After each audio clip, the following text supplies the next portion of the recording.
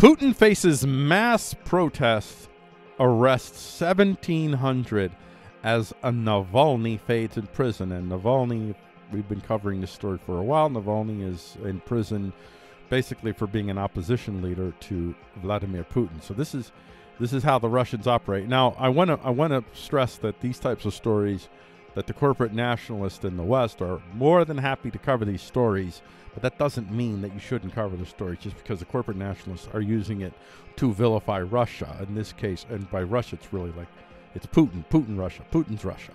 So Putin's Russia, uh, but in this case, Putin's Russia deserves a little vilification. But don't let this vilification of Putin's Russia trick you into believing that you should somehow support uh, the United States and the West and Turkey and whatnot getting their little fingers on the Crimea, uh, because that is a, a, a fundamental.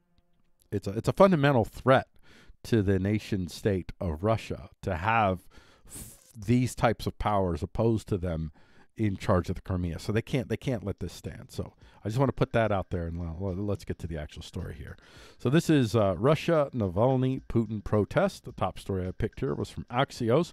Putin warns the West as Russia police detain almost 1,800 Navalny protesters. You know what happens when you have reigned for a long time? It doesn't happen often, but well, I mean, it doesn't ha- happen all the time, but it happens more often than not as you get into a long reign, and Putin has been in, in power for 20 whatever years it's been, you get a lot more paranoid. And one of the reasons you get a lot more paranoid is because you killed a lot of people. And so you got a lot of family members and friends and whatnot out there that are not happy about all the people you killed. And it gets in your head. And I think a part of it is also uh, because the spirit of the Lord, you know, the truth of the Lord is in all of us, even atheists. You have the truth of the Lord in you, and that is what convicts you of your your moral sins. So I think in part Putin's own moral sins are convicting him, and that makes him. He knows he has to be protected, and I think he's getting a little bit unhinged. Uh, and we'll see. I'll, I'll, show you why here. Uh, so this is from this is from Yahoo News, but let's see. It's really from Axios. Okay, that's right. Oh, I did put that Axios. Security forces detain at least 1,700 supporters of the jailed hunger striking Kremlin critic Alexei Navalny amid protests across Russia Wednesday, according to the independent monitoring group Ovid Info. The big picture at least 30 protesters were arrested in Moscow, 805 in St. Petersburg, and 119 in the Ural city of Ufa, or Ufa, however you say it, among dozens of other cities the group estimates. Should Joe Biden sanction Russian oligarchs to save Alexei Navalny? From Mother Jones. And David Corn is writing. Alexei Navalny returned to Russia in January. Uh, okay, you're just going to get let our journalists. We're not. We don't want to hear that. So what do you have to say here? As for the health of Alexei Navalny, the imprisoned Russian opposition leader deteriorates, with his allies warning he may be nearing death. His, ad- ad- his advocates in Russia and the West are calling for the Biden White House to take a bold step in countering Vladimir Putin, slapping sanctions on Putin's oligarchic oligarch cronies. Navalny, who last year survived a Russian effort to poison him, was sent to prison in February on a 2014 conviction that the European Court of Human Rights ruled in 2017 was the result of an unfair trial. After not receiving medical care for several back pain and severe back pain and the loss of feeling in his legs, he began a hunger strike. On Sunday, he was transferred from a penal colony to a prison hospital. His lawyer has reported he is in dire condition. His doctor noted he was at risk for kidney failure and cardiac arrest. So he could be near death.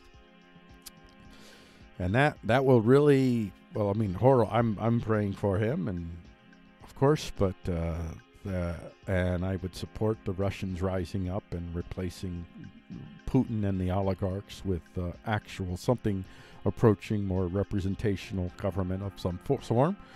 Uh, I don't think that'll happen anytime soon, but I'm certainly not in favor of using this as a weapon to try to encourage the West to continue to muddle in the affairs of Ukraine. And by Ukraine, I mean the Crimea. Let's let's be sure clear. If Ukraine wasn't attached to Crimea, this would be a non-issue for the Russians.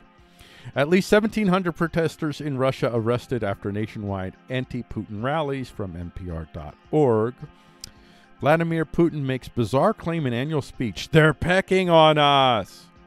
Well, what else is he going to say? That's what that's what world leaders do. But but he's just he usually he's very measured. He's a very intelligent man, and when he speaks, it's like it's almost like a political theorist speaking. He's got that kind of level. He probably could have been a philosopher.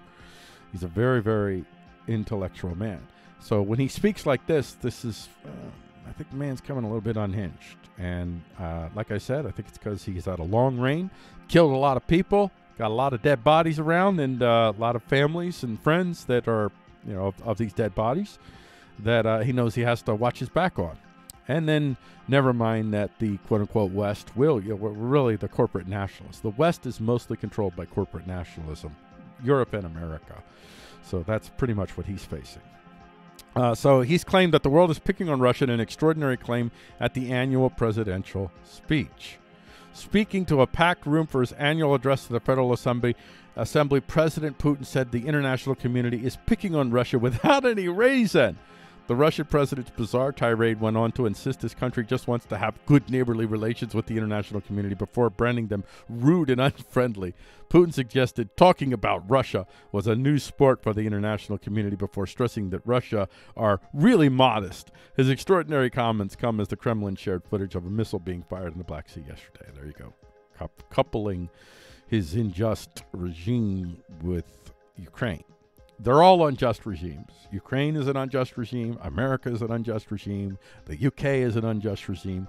They're all unjust regimes. In in the West, they're largely unjust because they are controlled, especially right now, by corporate nationalists, fascistic corporate nationalists. And in Russia, well, they're, they're good old fashioned nation state uh, fascistic uh, type folks. Fascism uh, of, of the quote unquote left and the right variety are the the uh, the the weapon of choice for those in power.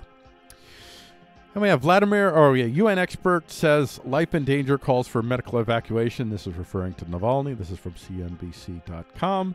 Protests for Alexei Navalny held across Russia amid fears for his death. ABC News.